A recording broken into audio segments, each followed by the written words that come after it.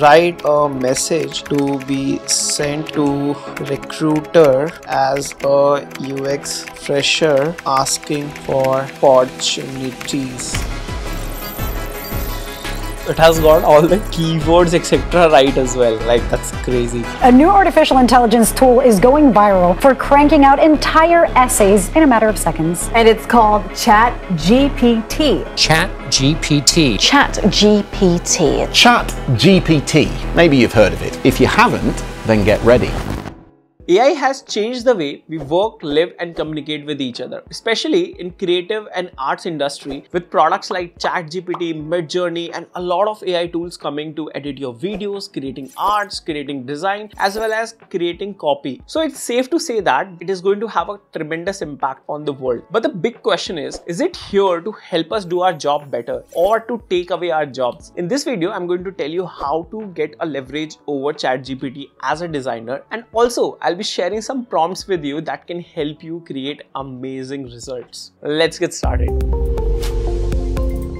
Let's start with the basic. What is ChatGPT and why should we pay attention to this? If you already know about ChatGPT and you just want to know how designers can use it, you can jump to this timeline. For rest of the folks, this is about ChatGPT. ChatGPT is a artificially intelligent text generation tool. So as you saw in the starting of the video, I gave a prompt of just one line and it generates text just as a subject matter expert would. And that's scary, but also a good part because it can actually understand what you're talking about, what kind of response do you need and tailor its response based on that. But it's not new, it's just the way they have implemented it. So they have brought human intelligence as well as conversation to be a part of this AI, which means that if you ask a question and if you ask a follow-up question without giving the context of the above question again, it can still generate very relevant answers for you, keeping in mind what you asked before. So let's say if I ask, hey, can you generate 10 ideas for me to create a website on? Then if I give a few constraints like this has to serve an Indian audience and what all things I should keep in mind, you will see that there will be a very drastic difference in terms of the answers that you get because now it understands conversation just like a human would. The answers are not 100% right, but it's getting there. Let's talk about popular products and how much time they actually took to reach 100 million people. For Uber, it was 70 months. For Spotify, the number was 55 months. Instagram took 30 months to reach 100 million people. TikTok, on the other hand, only took 9 months, but ChatGPT did that in just 2 months. 100 million users in just 2 months. And apart from OpenAI's ChatGPT, there is no other company in the world that is doing it right now. That's why this is considered to be one of the biggest competitors of Google search because all the queries that were made on Google earlier is now shifting to ChatGPT and it's going to be super powerful. Search as a feature for Google brings most amount of ads, but now people are having conversations instead of just asking on search and that's an attack on Google's core business which is advertisement and ChatGPT is going to take a a significant piece of that pie. But here's why I think that ChatGPT is going to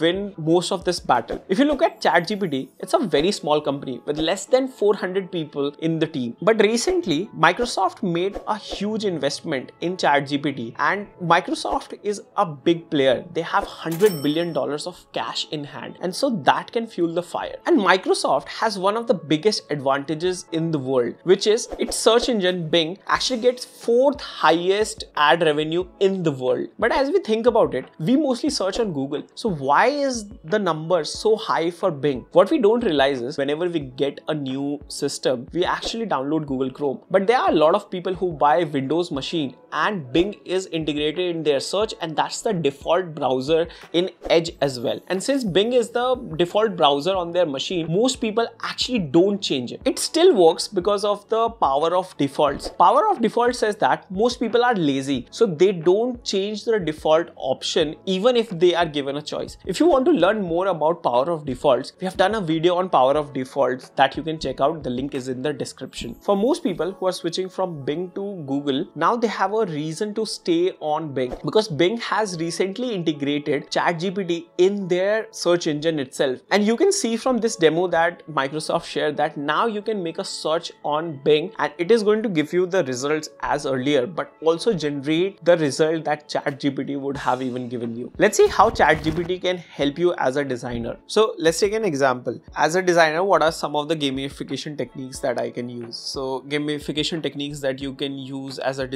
designers include points and badges, leaderboards, progress bar, challenges and quests, rewards and prizes, levels and unlocks, personalization, social engagement, and things like that. If you look at the answers over here, these are right, relevant, and it helps me understand how I can use it. But can I make it better? So let's try making that. So I'll say make it for an educational app, keeping in mind it is for college students and you are a UX, you are a UX designer.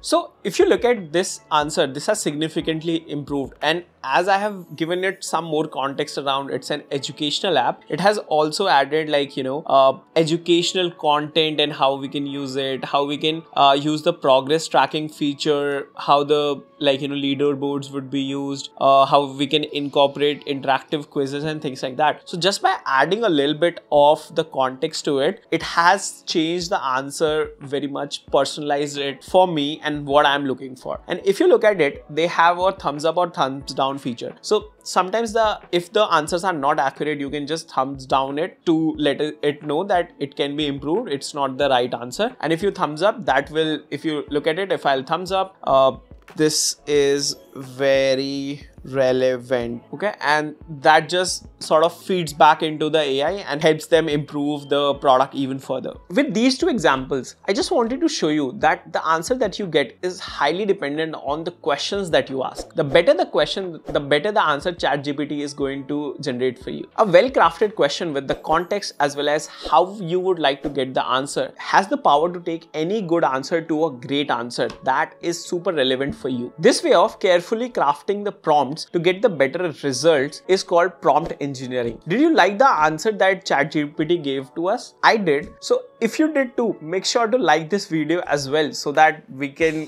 keep teaching you more such stuff. Back to the video. So let me take one more use case. So let's say we are creating a landing page for a ebook that we are creating. So let's see how it helps us create that. What to put in a landing page of the ebook on UX design for B2B and SaaS products. So it is telling me what all should we put in the landing page like attention grabbing headline, a brief summary of what ebook covers, a visually appealing image, some testimonials, a call to action, visit uh, like something to collect their email and name, brief form, blog post, case studies and things like that. So that's a very relevant. Can you give me an example of the attention grabbing headline for the landing page of this ebook so if you look here, I have not shared which ebook I was talking about, but since it can store the context from the previous message, it has just given me a very good, like, you know, if you, if you look at it, if it has given me a very good headline to begin with, revolutionize your B2B and SaaS product with cutting edge UX design strategies. Download our ebook now. Can I make it even better? So I'll say, can you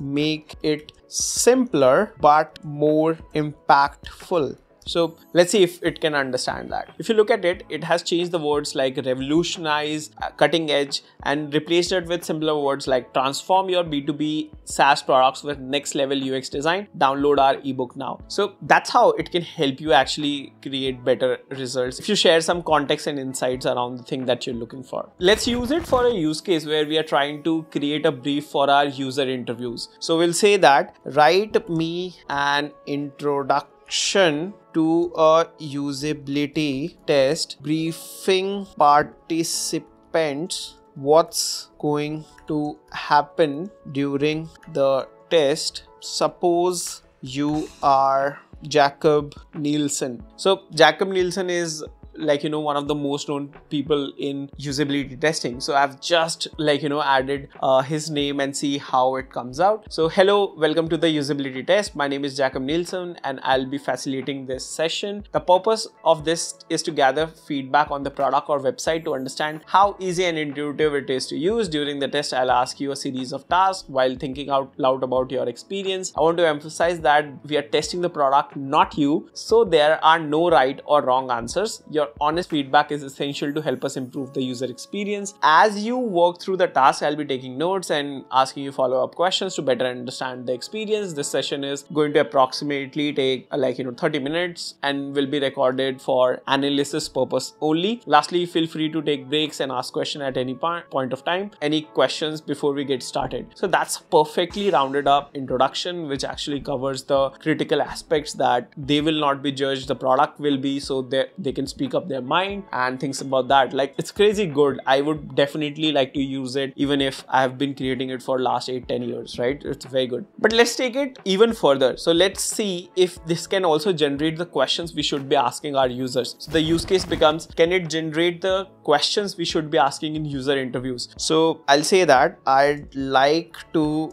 interview pet owners. I'd like to find out what makes them use a pet sitter. Write me 10 interview questions I can ask pet owners what inspired you to use a pet sitter? How did you go about finding a pet sitter? What criteria did you consider when choosing a pet sitter? How frequently do you use a pet sitter? For what purpose? What types of services do you typically request from a pet sitter? How do you evaluate the quality of service provided by a pet sitter? Have you ever had a negative experience with a pet sitter? If so you can describe it. So it even gives you a deeper level question to ask. What are the most important factors for you when so selecting a pet pet sitter what advice would you give to someone who is considering using a pet sitter for first time? How does your pet behave when you return from a trip and they have been looked after by a pet sitter? That's crazy level questions. Like most researchers would not be able to come up with these kind of questions. That's crazy helpful and you should definitely use it. Let's say you want to practice design. Let's see if this can generate some prompts for you to start practicing design. So i'll just say give me 10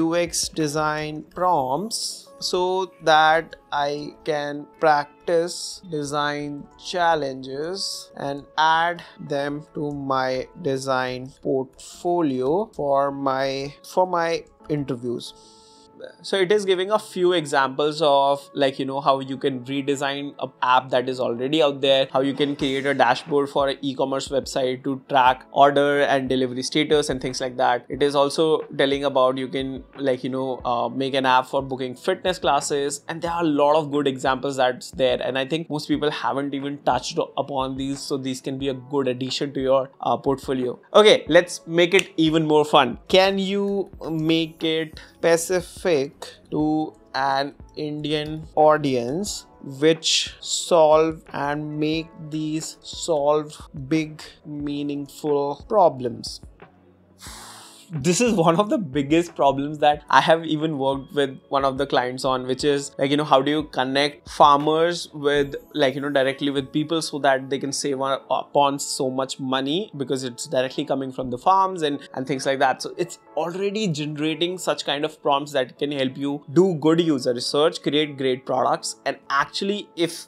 if not something it can also help you generate great startup ideas as well that can help you make profit. That's crazy cool. Since you have watched this video till the end, I have something for you. As I have shared with you, I have created this Notion file with all the prompts that I have been using. This is how it looks. I have written down all the use cases over here with the specific prompts and how you can get the better insights from it. There are some advanced prompts as well as some basic prompts. If you want this Notion template, get it from the description below. Super excited to know what you create next with these prompts. Do share it in the comments below. If you learned something something new from the video, make sure to subscribe and like the video. If you want to learn more about power of defaults, how it influences our decision and how can you use it, make sure to check this video out. This is all for this video. I'll see you in power of defaults video. Till then, happy designing.